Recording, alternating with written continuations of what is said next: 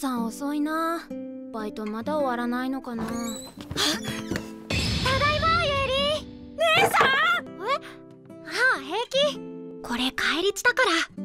それよりゆり見てほら。じゃーん。じゃーん。姉さんはいつも僕のためだけにボロボロになるまで働いて僕は決めたんだ。早く立派になって姉さんを守れる男になるんだって。